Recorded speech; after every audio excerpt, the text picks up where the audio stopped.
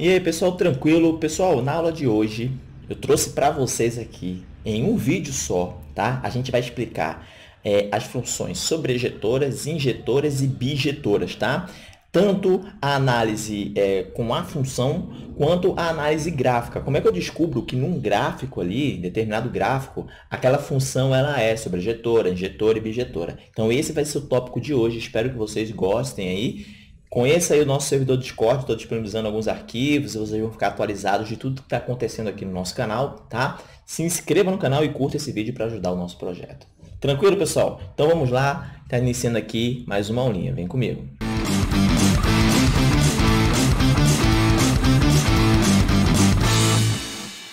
Bom, pessoal, então a gente, para cada função, tá? Se a função é sobrejetora, eu vou analisar graficamente também para saber se aquele gráfico ali é de uma função sobrejetora, tá? Da mesma forma, a gente vai trabalhar com outras funções aqui, ó. Se ela for injetora e no gráfico, como é que eu descubro, né, se essa função é injetora ou não? Até coloquei aqui uma injeção para lembrar desse detalhe.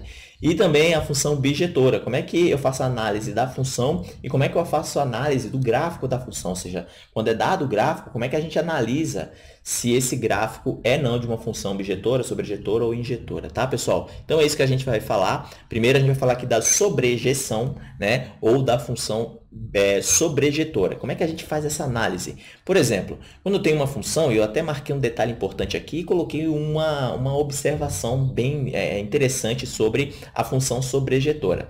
Qual, é, o, que, o que a gente pode falar da função sobrejetora, pessoal? Para todo y, vamos lembrar aqui ó, que o y é aquele, é, são os valores que estão aqui no contradomínio. Vamos fazer essa relação agora. O, o, o, valor de y, o y né, são os elementos que estão aqui no contradomínio. E x são os elementos que estão aqui no domínio, tá? Como a gente já está trabalhando com função, ou seja, essa relação é uma função. Então, não, nunca vai sobrar elementos aqui do nosso domínio, tá? Então a gente não, não precisa ficar analisando o domínio. O que a gente tem que analisar é o contradomínio. Vocês vão ver que é, fazer essa análise através do contradomínio é mais simples. E olha só, a gente vai analisar o contradomínio. Eu estou dizendo aqui ó, que para todo y, para todo y, todos os números que estão aqui no contradomínio, existe ao menos um, pelo menos um x correspondente, ou seja, existe pelo menos um x que flecha esse cara. Então, se a gente for analisar essa primeira situação aqui, observe que o 3 ele não tem um correspondente lá no domínio. Ele não tem um x que flecha ele. Tá? Então, está sobrando elementos. Muita gente confunde achando ah, a função sobrejetora, achando que ah, porque sobra. É muito pelo contrário, pessoal, que porque no contradomínio não sobra elementos, tá? Não vai sobrar elementos no contradomínio. Então, essa função aqui, ó, ela não é, então vou colocar aqui, ó, não, ela não é sobrejetora. O nosso segundo exemplo está aqui, é a seguinte situação, ó, o que, que a gente vai analisar? O contradomínio. Observe que todos os valores de y aqui, ó, o 1, o 0, o 3, tem um correspondente lá em x. Então, essa função aqui não sobra elementos no contradomínio. Então, isso aqui é um exemplo né, de uma função que é sobrejetora. Então, essa aqui ela foi aprovada. Ela é, sim, sobrejetora. Tá? Então, ó, olha o, a observação que eu coloquei aqui. Quando a imagem da função a imagem é o quê? Eu tenho aqui vários elementos, né? como vocês estão vendo aqui. Ó, a imagem aqui vai ser 0, 1 e 5. Por quê? Porque todos os elementos são os elementos que foram flechados por algum x, por algum elemento do domínio, né? Então, ó, 0, 1 e 5 seria a nossa imagem. Quem é um contradomínio? 0, 1, 3 e 5. Aí é todo mundo. Basta lembrar disso aqui, tá, pessoal? Só que, para uma função ser sobrejetora, a imagem tem que ser igual ao contradomínio. Então, ó, é o que está acontecendo aqui. O contradomínio é 1, 0 e 3, é todo mundo. E a imagem é todo mundo que foi flechado. Como todo mundo aqui foi flechado, então a imagem é 1, 0 e 3 também. Quando isso acontecer, eu posso dizer que uma função é sobrejetora, é sobrejetora, tá? Como é que eu faço análise gráfica? Como eu falei para vocês, o que vocês vão observar é o contradomínio. E uma função, ela está bem amarrada, ela precisa estar tá bem amarrada para a gente analisar se ela é sobrejetora, ejetora, objetora. Pessoal, a gente não vai olhar o domínio, porque já é uma função, não vai sobrar ninguém no domínio. O que a gente tem que observar é o contradomínio, tá? Então, a gente tem que observar os valores de y. A gente vai analisar esse carinha aqui, ó, o eixo y, tá? Então, a gente vai analisar ó, esse carinha aqui, ó. Pessoal, o domínio vai de menos 7 a 10, é, excluindo 10. Aqui, de 1 a 9, é o nosso contradomínio. Então, eu vou ter que analisar só daqui até aqui, ó. Observando que o gráfico vai exatamente nesse limite, né? Mesmo assim, eu tenho que observar o contradomínio. O contradomínio diz o seguinte, vai de 1 a 9. Então, estaria aqui ó, os valores de y de 1 até 9, excluindo 9, né? Seria 8, alguma coisa. Claro que eu estou trabalhando com um intervalo real, então vai de 8,999999, só que nunca chega a 9, tá? Então, é interessante a gente enxergar o que aqui, pessoal? É, se eu estou querendo analisar o contradomínio, eu tenho que perceber, para ser subjetora, que todos os elementos do contradomínio não podem, ou seja, precisam ter alguém flechando ele lá em X. Então, o que, é que a gente faz? Eu vou traçar uma reta aqui, ó, é, perpendicular a y. E por que isso aqui a gente faz isso? Né? É muito bom a gente ser estudante, a gente entender o que está fazendo, não ficar decorando, né? não ser aluno. Tá? Então, ó, olha só o que a gente vai ter que fazer. Por que eu tracei uma reta perpendicular a y? Porque eu estou traçando uma reta, claro, na extensão do contradomínio, que vai de 1 até 9. Eu vou ter que traçar aqui várias retas, tá? Ó, várias retas eu vou traçar aqui, ó. Pessoal, tá? Que vai no intervalo do contradomínio, que é de 1 até 9. Eu vou traçar aqui e vocês vão ver que estão flechando, né? essas retas aí estão flechando o nosso gráfico. E observe, vou pegar um exemplo aqui, ó, que nesse ponto aqui, ó, nesse ponto aqui, vai ter um valor correspondente em y, e é isso que eu estou analisando. Ó. Esse valor de y que está aqui, que, tem, é, que forma esse ponto, ele tem um correspondente em x. Esse valor que tem aqui, ó, em y, aqui, ó, ele tem um correspondente x. E assim sucessivamente. Todas essas retas que eu estou cortando é, o gráfico de 1 até 9 tem correspondente x. Agora, então eu posso dizer que essa função aqui ela é sobrejetora. Então, eu vou colocar aqui um sim, tá? Para dizer que ela é sobrejetora. Essa aqui, observa, a gente tem que analisar o contradomínio. Então, eu vou analisar todos os y's do nosso contradomínio. Então, ó, se é real, é todo mundo. Então, eu vou traçar retas perpendiculares aqui, ó, pessoal. Esse valor de y, tem alguém correspondente lá no gráfico?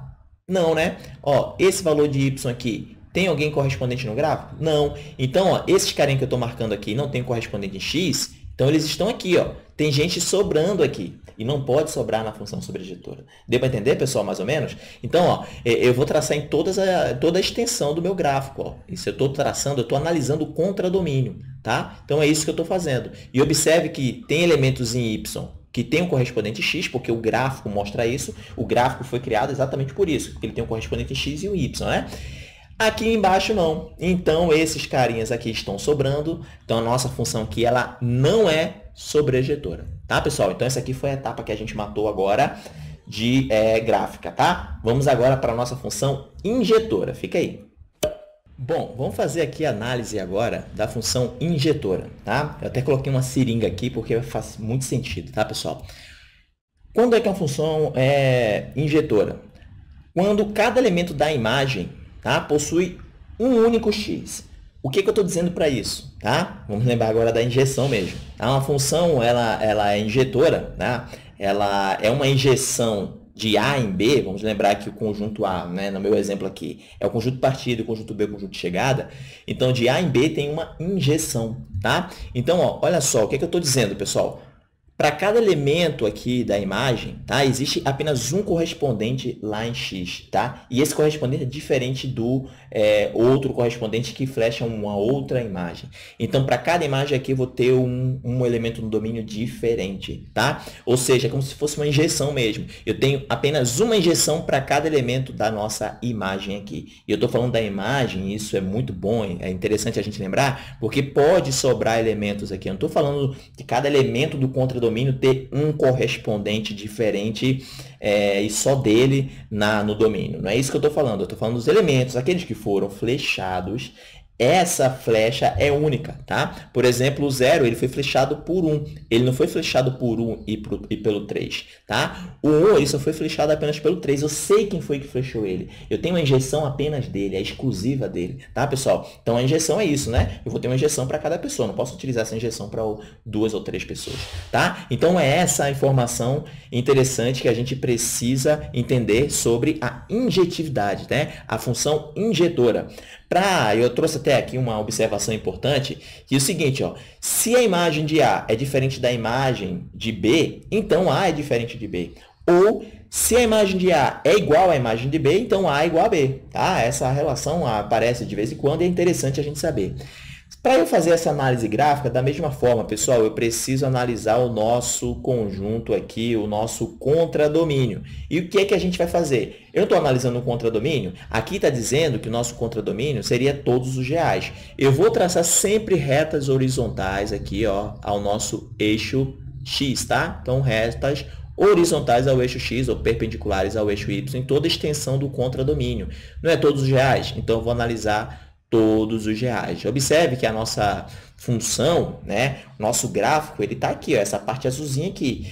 Porém, tem elementos sobrando aqui, eu vou colocar como exemplo aqui, ó, aqui mesmo. Ó, existem elementos sobrando aqui. Vamos imaginar uma outra situação analisando esse, essa função aqui. Tem elementos sobrando aqui.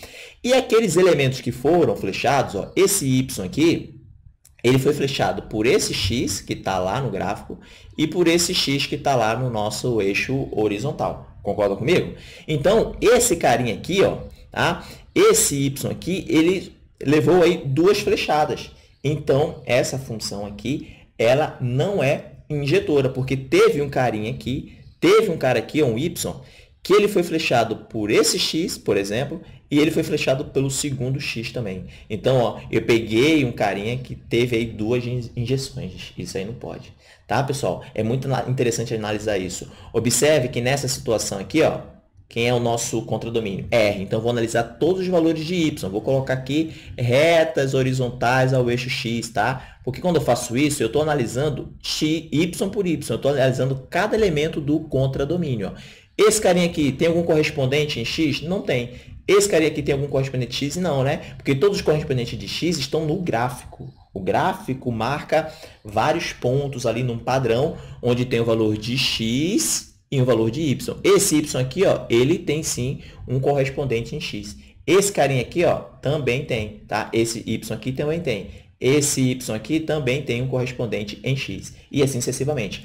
Observe que os elementos que foram flechados, aqueles que foram flechados, foram flechados apenas por um x. Não tem dois valores de x flechando um, um, y apenas, né, pessoal? Então, eu posso dizer que essa função aqui, ela é sim uma função injetora, tá? Aqui é injetora, aqui não é injetora.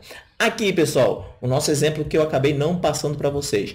Observe o que, é que a gente vai imaginar, a gente vai analisar, na realidade, a imagem. Só os elementos que foram flechados, ó. 1, o 0 e o 3.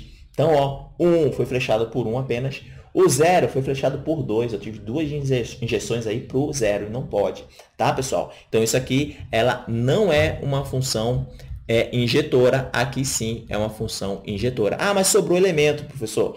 Não importa, pode sobrar elemento. O que não pode é um carinha é, levar duas injeções aí diferentes. Se eu tenho elemento é, imagens diferentes, então os seus correspondentes lá no domínio também são diferentes. Tá? É isso que a gente tem que analisar, beleza? Aí muita gente pergunta também, professor, se a, se a função ela é injetora, então ela não vai ser sobrejetora? Ou se ela é sobrejetora, não vai ser injetora? Nem sempre, pessoal. Tem função que ela é injetora e sobrejetora ao mesmo tempo. Como tem função que não é nem sobrejetora nem injetora. Tá? Eu só quero que vocês analisem o contradomínio. Quando é graficamente, vamos analisar o contradomínio. Tá? Se a função é injetora, a gente vai analisar a imagem, os elementos apenas que foram flechados. Se eles foram flechados, será que tem apenas um correspondente lá no domínio? Se tiver, aí sim é uma injetora. Beleza? Fique aí que a gente vai para a parte final da nossa aula. Bom, agora a gente está na nossa parte final que é a função bijetora. Pessoal, bijetora ah, é muito fácil. A função é bijetora quando ela é sobrejetora e injetora ao mesmo tempo. Tá? Uma característica muito importante que é rápida a gente matar é o seguinte, ó, para todo y, observe que agora é para todo y. Quando eu falo y, estou falando de todo contradomínio, pessoal. Todos os elementos, tá? Só na injeção que a gente precisa analisar aqueles que foram flechados.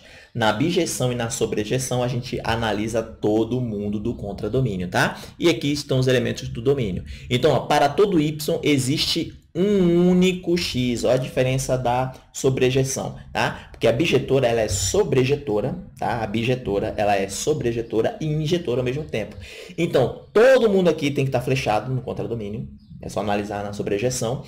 E todo mundo aqui, se está flechado, tem que ter apenas uma injeção. Se isso acontecer, então é uma bijeção, porque ela é injetora e sobrejetora. Então, ó, vou analisar aqui todo mundo. Quem é os elementos do contradomínio? Menos 6, 2, 3 e 5. Ah, beleza, todo mundo foi flechado? Foi, então já é sobrejetora.